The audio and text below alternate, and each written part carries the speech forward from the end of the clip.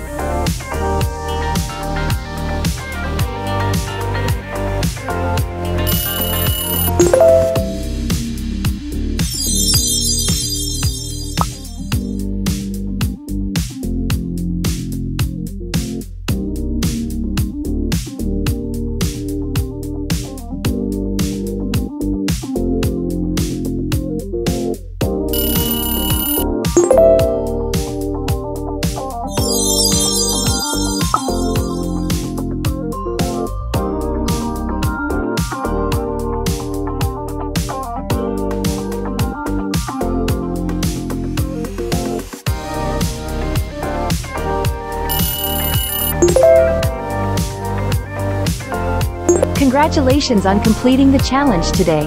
Can you tell me how many levels did you pass? Please share your results in the comments and select your next challenge. See you later.